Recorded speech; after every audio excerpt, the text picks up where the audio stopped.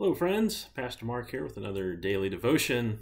I thank you so much for taking the time uh, to be in God's Word, just for, even for a few minutes every day. It's so powerful in transforming our lives. I mean, the Word of God, it works.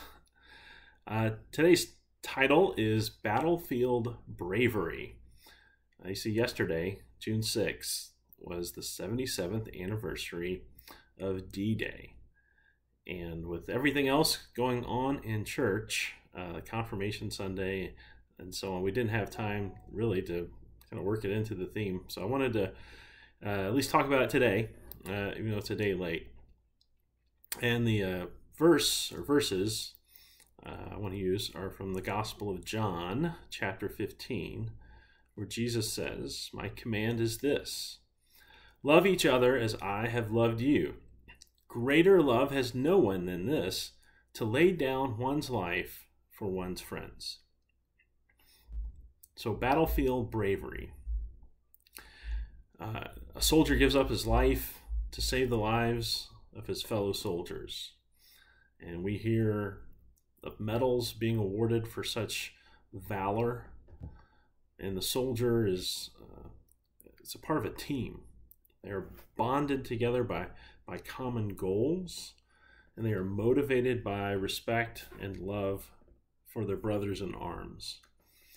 And these acts of bravery are rare events in our world. The soldiers whose lives are saved remember the heroic deed you know, for the rest of their lives. It's so moving to hear veterans tell the stories uh, from those heroes who laid down their lives uh, for, for them and their their squad mates.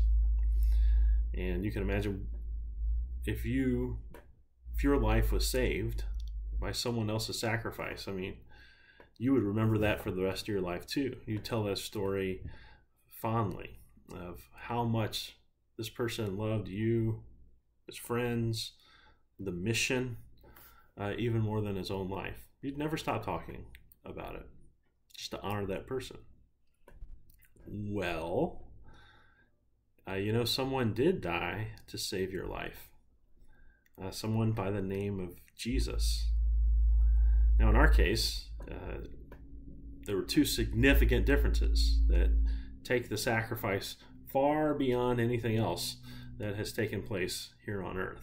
First, Jesus died for all people who have ever lived on the earth, who are living, who ever will live on the earth. Everyone is a sinner. All have broken God's commandments. So each of us, by our own nature, was not a friend of Jesus. We were the enemy. Think about that. He laid down his life for his enemy. What kind of love is that? Tremendous. Second difference uh, what about the effect of Jesus' death for all of us? Well, he didn't die to lengthen our life here on earth. By his death, Jesus gave us eternal life. He turned us from enemies into friends. He took our sins on himself so that we could spend eternity with him in heaven. And to that end, we look forward. And for here and now, we hear his command Love each other as I have loved you. Let me pray with you. Lord Jesus, help us this day to be willing to selflessly love the people in our lives the way you selflessly loved me when you paid for my sins on the cross. In your name, amen. God bless you. Have a wonderful day.